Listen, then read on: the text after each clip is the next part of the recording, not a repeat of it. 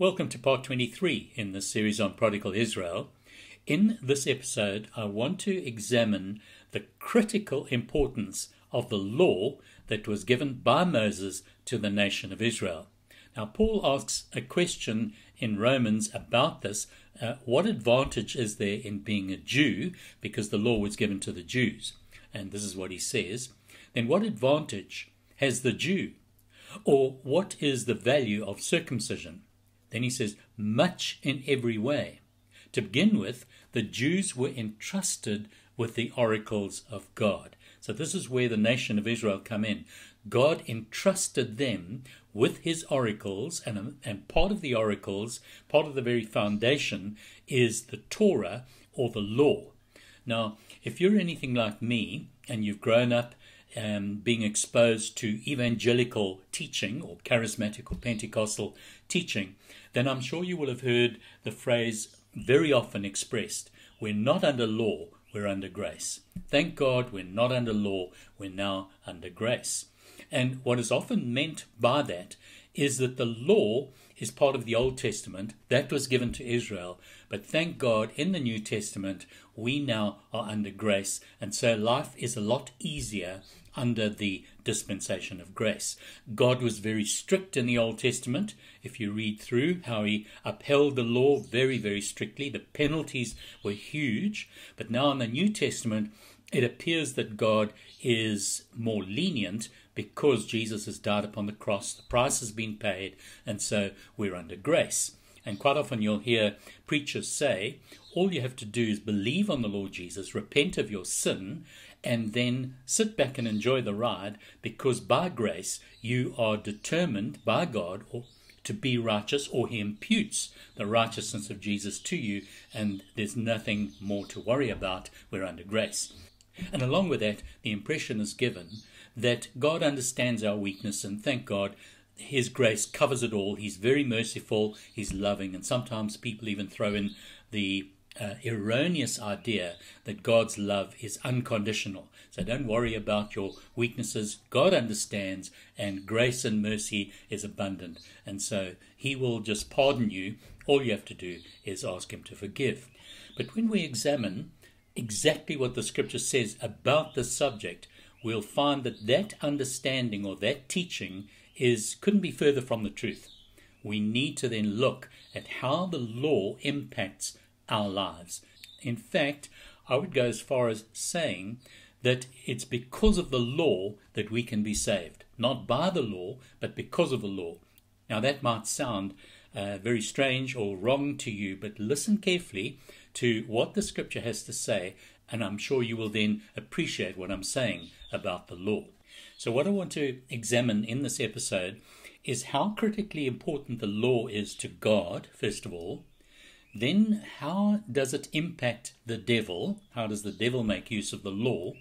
And then, what are the implications for us as believers, Gentile believers, and Jewish believers? So, let's have a look at that and allow the Word of God to bring some clarity and to and to put the emphasis of the importance of this subject upon our hearts.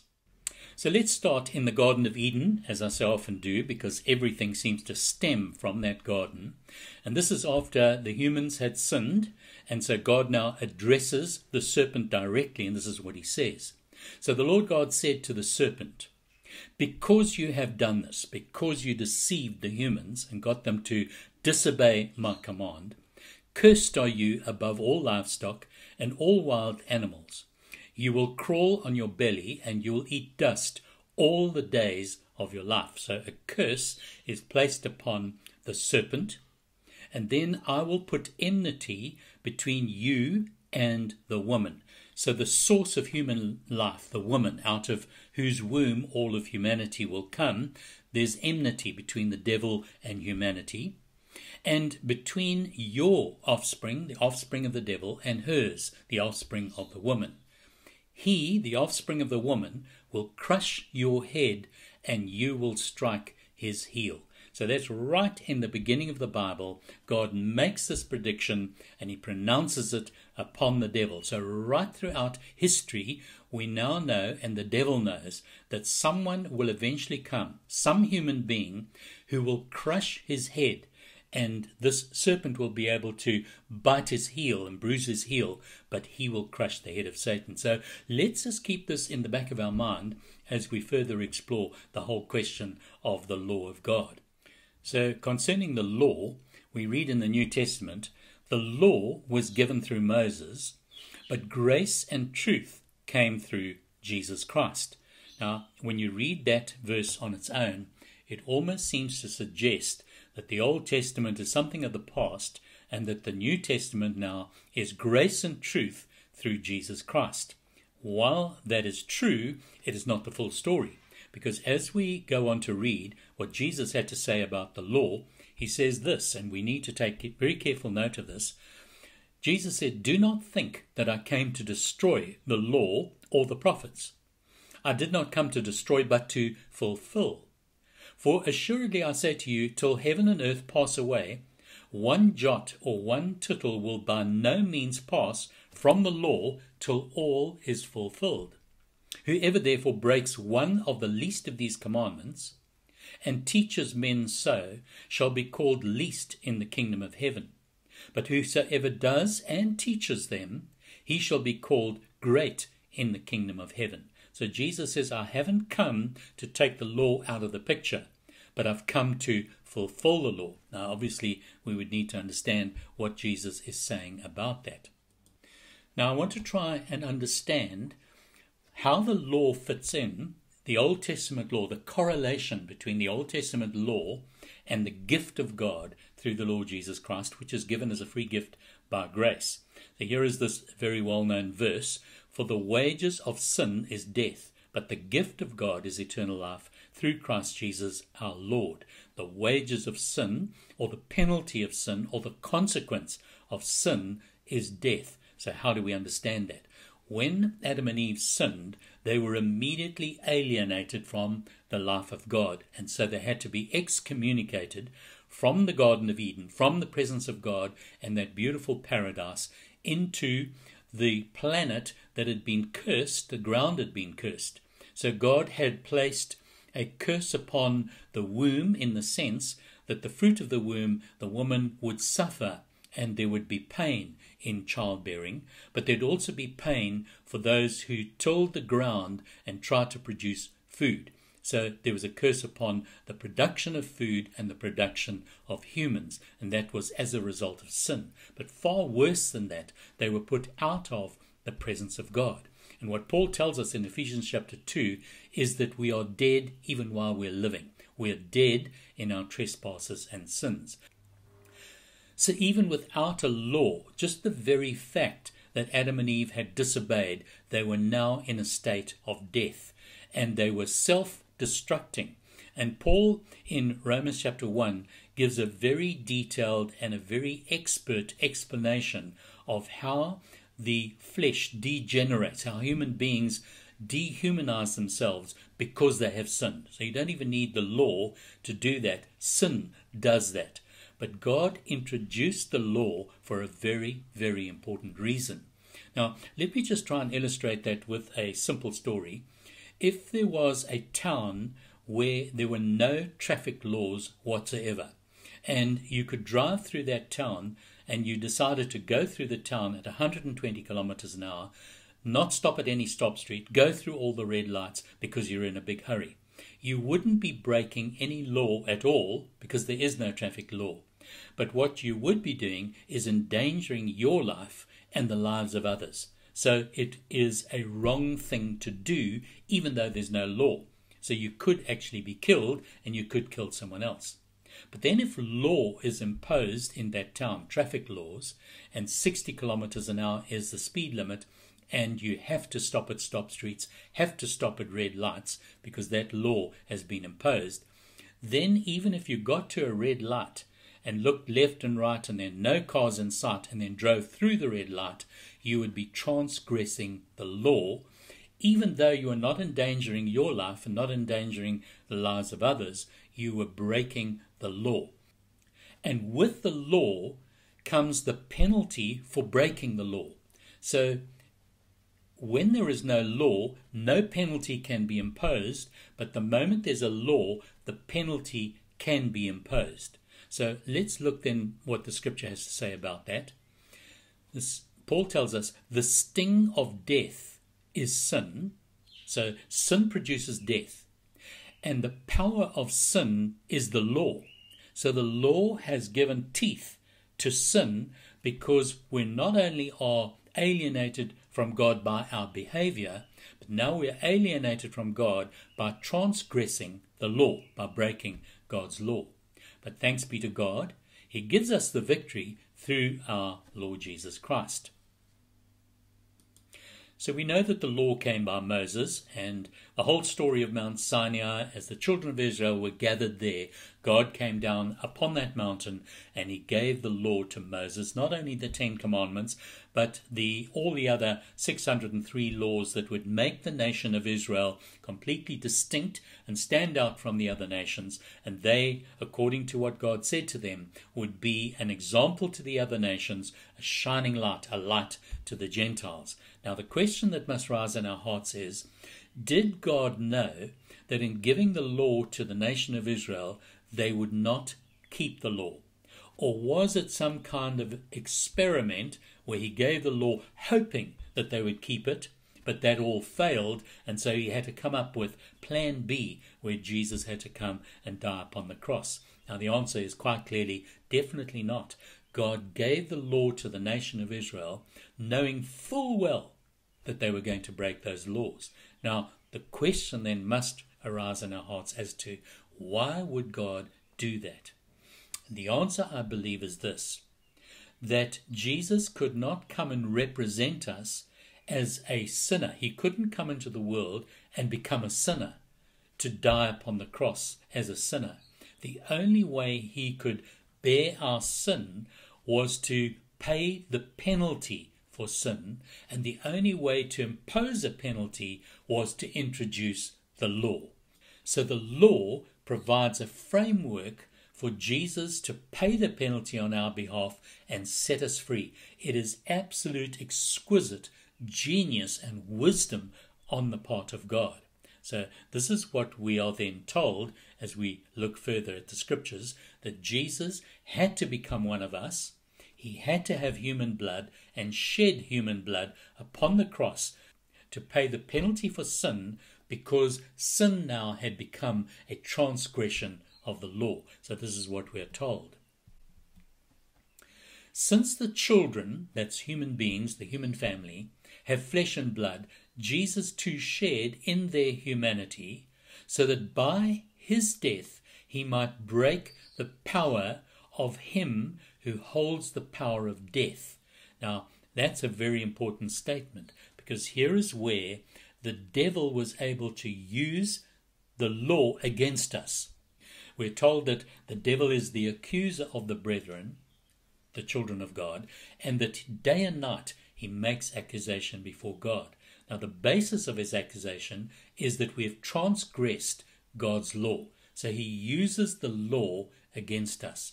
Now, Jesus then, as we're told here in this Hebrew, this passage in Hebrews, Jesus became one of us so that he could die on our behalf and break the power of him who holds the power of death. The sting of death is sin, and the power of sin is the law. So the law gives power to sin because we've transgressed the law, and there's a penalty to that law. And that's what the devil used against us. That is the devil. And free those. So Jesus has freed those who all their lives were held in slavery by their fear of death. For surely it is not angels he helps, but Abram's descendants. For this reason, he had to be made like his brothers and sisters in every way, like the human family, in order that he might become a merciful and faithful high priest in service to God. So, a high priest not only to make intercession, but to also sacrifice. Instead of sacrificing a lamb, he sacrificed himself. And that he might make atonement for the sins of the people, because he himself suffered when he was tempted, he is also able to help those who are being tempted.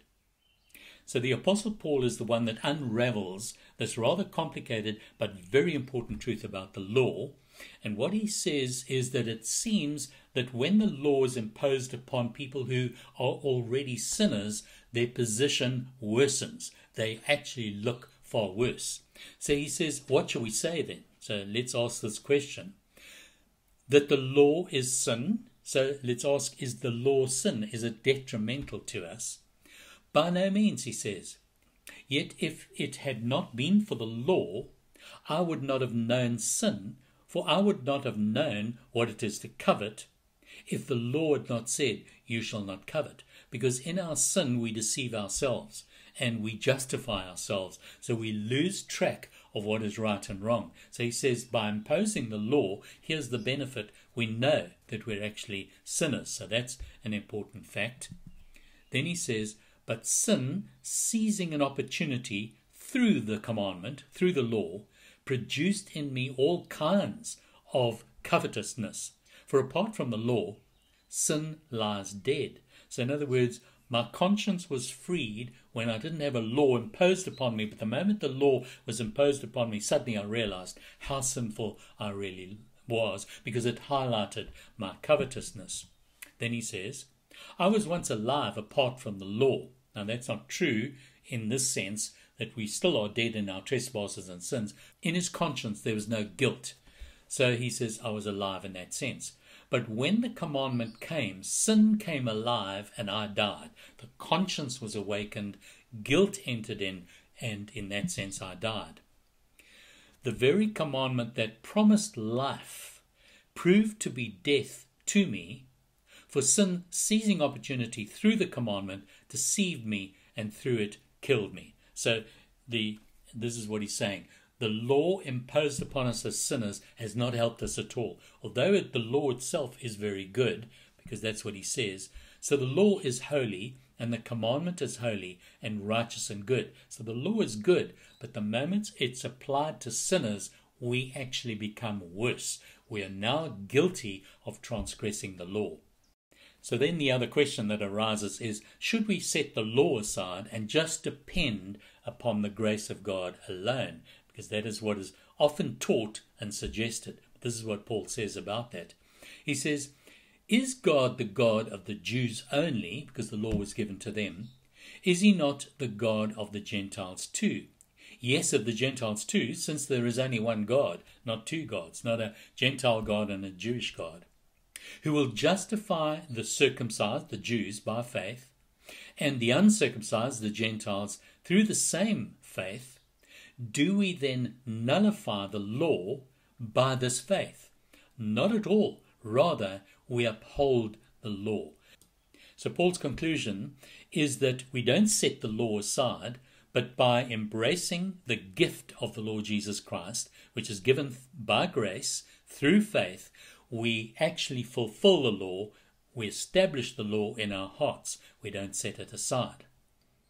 Now, just for a moment, going back to this original prediction where God said to the serpent that the seed of the woman, a human being, would crush the head of Satan. Now, the question we've got to ask then is Did Jesus crush the head of Satan at the cross? So let's keep that question in mind as we look further at what the scripture has to say about this whole subject. If Satan was crushed and annihilated at the cross, then it is strange to read in the scriptures that he seems to be alive and well and giving us just as much trouble as he ever did before uh, Paul tells us the God of this age has blinded the minds of unbelievers so that they cannot see the light of the gospel that displays the glory of Christ, who is the image of God. Now, he's saying this long after the cross. Jesus has died, was buried, risen again, and ascended back to heaven. But he says the God of this world is still blinding the eyes and the minds of those that do not believe. Further to that, he says, And you were dead in your trespasses and sins, in which you once walked, following the course of this world, following the prince of the power of the air, the spirit that is now at work in the sons of disobedience. So Paul is saying that the prince of the power of the air, the devil, is still very evident even after the death, burial, resurrection of the Lord Jesus. And then we're told, Peter tells us, be sober minded, be watchful. Your adversary, the devil, prowls around like a roaring lion, seeking someone to devour. Resist him, firm in your faith, knowing that the same kinds of suffering are being experienced by your brotherhood throughout the world. So he's saying that the devil is still very active as a roaring lion, going about seeking whom he may devour. So let's have a closer look now at what was accomplished by the Lord Jesus on the cross and keep in mind the subject of the law because that plays a very vital role.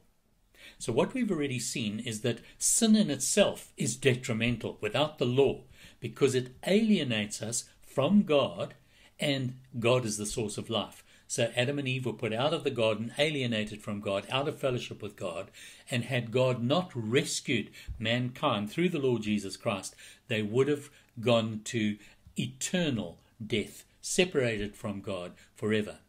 So now let's look at sin. When the law is introduced, sin then becomes a transgression of the law, and that carries a penalty, the punishment of death. And that's where Jesus stepped in to bear that punishment on our behalf. Now let's consider a very vital passage that explains this so beautifully and clearly.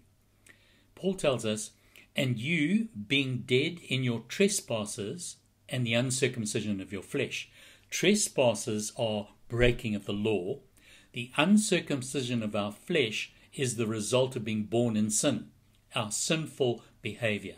So he says, you being dead, spiritually dead, in your trespasses and the uncircumcision of your flesh, God is made alive together with Jesus. So he took our place, died on the cross, but having risen again, he's made us alive in him, having forgiven you all trespasses of the law. The penalty of the law has now been paid in full having wiped out the handwriting of requirements that was against us. The law was against us because we were sinners, which was contrary to us, and he has taken it out of the way, having nailed it to the cross. Now, because he has done that, he has removed the instrument that the devil has used against us to accuse us before God. The devil can no longer use the law because the penalty of the law has been paid. Although we've transgressed it, the price has been paid. And so, having disarmed principalities and powers, he made a public spectacle of them, triumphing over them in the cross. So, by dying upon the cross, paying the price that was required by the law, he has removed the instrument that the devil uses against us, setting us free. So the devil can no longer use the law as a weapon against us. So it becomes quite clear from Scripture that the devil has not yet been crushed. He is still alive and well in planet Earth. But his end is coming, and the Scripture tells us about that. It says in the book of Revelation, Now war arose in heaven. Michael and his angels fighting against the dragon, and the dragon and his angels, the dragon, of course, is the devil, and the dragon and his angels fought back, but he was defeated, and there was no longer any place for them in heaven. Now that's interesting because up until now, the devil has continued to hold his place, his position, his throne in heaven.